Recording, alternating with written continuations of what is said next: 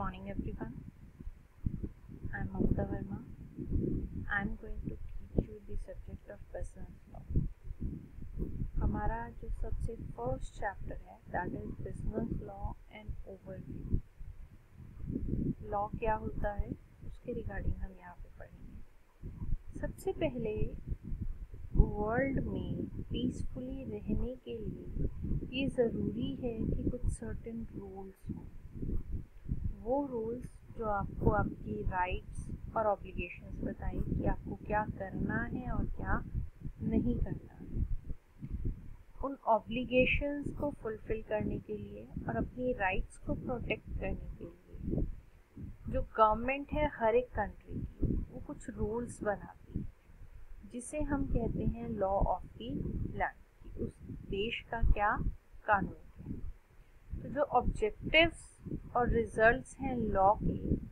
William Anson ने उसे किस तरीके से लिखा है अपने वर्ड्स में कि जो ऑब्जेक्टिव है लॉ का, कानून का, वो है ऑर्डर मतलब एक तरीके से काम और जो रिज़ल्ट है ऑर्डर का, वो ये कि जो इंसान है, जो मैन है, वो फ्यूचर की तरफ़ देख सके एक सिक्योरिटी के साथ। हालाँकि जो ह्यूमन एक्शन है, उसे हम नेचर की तरीके से, उसके लॉस के तरीके से हम उसे नहीं कर सकते। लेकिन स्टिल जो इंसान है, उसने कोशिश की है कि कुछ कानून ऐसे बनाए जाएँ, जिससे जो वर्ल्ड है, जो लाइफ है, उसमें यूनिफॉर्मिटी तो नेक्स्ट जो हमारा क्वेश्चन आता है that is what is business law जैसे कि हमारा सब्जेक्ट का नाम है बिज़नेस लॉ तो वो रूल्स जो रिलेटेड हैं इंडस्ट्री से बिज़नेस से प्रोफेशन से, उसे हम कहते हैं बिज़नेस या कमर्शियल या मर्केंटाइल लॉ इसका मतलब वो कॉन्स्टिट्यूशनल प्रिंसिपल्स रूल्स रेगुलेशंस जो गवर्न करते हैं कि बिज़नेस या इंडस्ट्री किस तरीके से काम करेगी, उसे मर्केंटाइल लॉ कहा जाता है। कुछ लॉ है कुछ कलेक्शन है रूल्स का, जो हर एक बिज़नेस एक्टिविटीज़ और ट्रांजेक्शन्स में आपको फॉलो करना होता है। इंडिया में डिफ़िकल्ट है मर्केंटाइन लॉ को दूसरे लॉ से अलग करना, क्योंकि कोई प्रिसाइज डेफिनेशन इसकी नहीं है। लेकिन इन जर्नल अगर हम कहें तो मर्केंटाइन लॉ जो है, उसमें जो भी rules and regulations directly link करते हैं बिज़नेस और कमर्शियल एक्टिविटी से उसे हम मर्कट लॉ कहते हैं। तो डेफिनेशन इसकी देख लेते हैं। As per Sen and Mitra that part of law which regulates the of the mercantile community is called commercial और mercantile law so according to Sen and Mitra law का वो पार्ट जो रेगुलेट करता है ट्रांजेक्शन मर्केंटाइल कम्युनिटी की, उसे हम कहते हैं कमर्शियल और मर्केंटाइल लॉ नेक्स्ट जो हमारा टॉपिक है that is scope of mercantile law हमने अभी ऊपर डेफिनेशन में पढ़ा कि मर्केंटाइल लॉ का मतलब वो जो बिज़नेस के लिए रूल्स रेगुलेशंस बनाए गए हैं. लेकिन एक्चुअल में प्रेजेंट सिनेरियो में अगर हम देखें तो जो मर्केंटाइल लॉ है, वो सिर्फ़ बिज़नेस कम्युनिटी के लिए अप्लाई नहीं होता, वो हर एक मेंबर के लिए अप्लाई होता है सोसाइटी के. जैसे कॉन्ट्रैक्ट एक्ट है जो बिज़नेस के लिए भी अप्लाई होता है और नॉन बिज़नेस कम्युनिटी के लिए भी अप्लाई होता है। तो यहाँ पर जो चीज़ जानना ज़रूरी है दैट इज़ ये जो लॉ है, वो सिर्फ़ बिज़नेस कम्युनिटी के लिए ही नहीं कॉमन मैन के लिए भी ज़रूरी है। जो आप अपने डे टू डे एक्सपीरियंसेस में नंबर ऑफ़ कॉन्ट्रैक्ट्स में एंटर कहते हैं। जैसे अगर आप रेल से ट्रेवल कर रहे हो या एयर से ट्रेवल ट्रेवल कर रहे हो तो आपके ऊपर कुछ सर्टेन रूल्स एंड रेगुलेशंस हैं जो आपको फॉलो करने होते हैं। मर्केंटाइल लॉ का स्कोप बहुत बड़ा है, जो गवर्नमेंट ने रूल्स एंड रेगुलेशंस बनाए हैं बिज़नेस एक्टिविटीज़ को स्मूथली करने के लिए। तो जो पार्ट है डिफरेंट ओवरऑल मर्केंटाइल लॉ के, उसमें कौन कौन से लॉज इंक्लूडेड होते हैं, एक बार देख लेते हैं। तो following laws are included in mercantile law contract act sales of goods act partnership act companies act negotiable instruments act banking companies act insurance companies act carriers and carriage of goods act commercial securities act patents and copyright act insolvency act arbitration act next जो हमारा topic है that is sources of Indian mercantile law कि जो India का mercantile law है उसकी जड़ें कहाँ हैं? उसके रूट्स कहाँ हैं? कहाँ से जो रूल्स एंड रेगुलेशंस है, उस मर्केंटाइल लॉ में आए हैं। तो डिफरेंट सोर्सेज हैं इंडियन मर्केंटाइल लॉ के।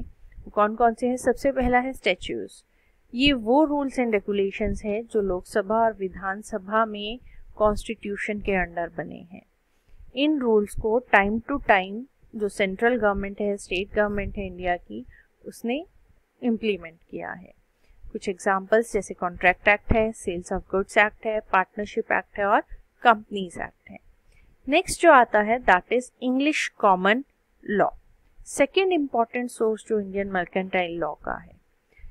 जहाँ पे आपको कोई क्लियर कट रूल्स नहीं मिलते हैं किसी चीज़ के रिगार्डिंग या आपको कोई क्लैरिटी नहीं होती है लॉ के रिगार्डिंग तो जो इंडियन कोर्ट्स हैं, वो रेफर करते हैं इंग्लिश कॉमन लॉ को। मतलब जो इंग्लैंड का कॉमन लॉ है ब्रिटिशर्स का जो कॉमन लॉ है, उसको वो फॉलो करते हैं। जो एक्सप्लेन अगर आपको रूल्स अपने करने हैं तो आप इंग्लिश कॉमन लॉ को कंसीडर करते हैं। कॉमन लॉ इंग्लैंड का ओल्डेस्ट लॉ है।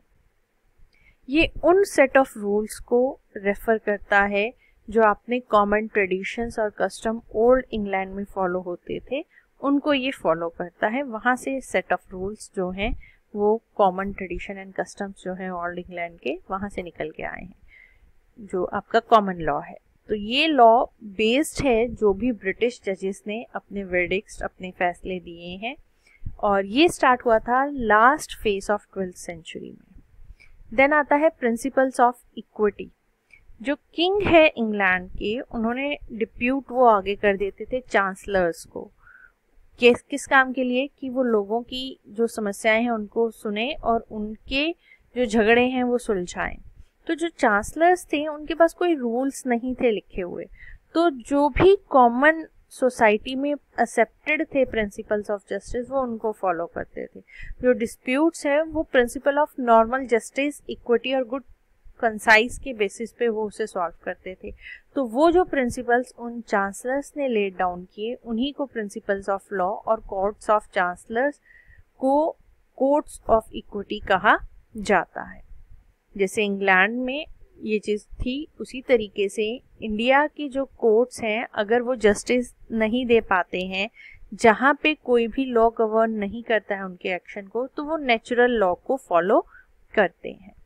Next is your Indian customs and usages जो लोग इंडिया में रहते हैं, जो सोसाइटी में कस्टम्स और यूसेजेस प्रथाएँ और रीति रिवाज जो फॉलो होते हैं, वहाँ से जो रूल्स रेगुलेशंस निकल के आए हैं, वो भी इफ़ेक्ट करते हैं कि मर्केंटाइल लॉ के रूल्स रेगुलेशंस कैसे बनाए गए हैं। जैसे फॉर एग्जांपल आपका हुंडी जो है टाइप है बिल ऑफ़ एक्सचेंज का, जो रिकॉग्नाइज्ड है under the negotiable instruments act next is your leading cases कई बार जो पुराने आपके केसेस थे, वहाँ से जो फैसले निकल के आए, वो भी बेसिस बनते हैं मर्केंटाइन लॉ के रूल्स एंड रेगुलेशंस का। जैसे एग्जांपल मोहरी बीबी वर्सेस धर्मदास और लालवान शुक्ला वर्सेस गौरी दत्त केस जहाँ पे कई कोर्ट्स हैं, जहाँ पे जो फैसला इस केस में हुआ था, उसी फैसले को, उसी रूल्स रेगुलेशंस को वो फॉलो करते हैं।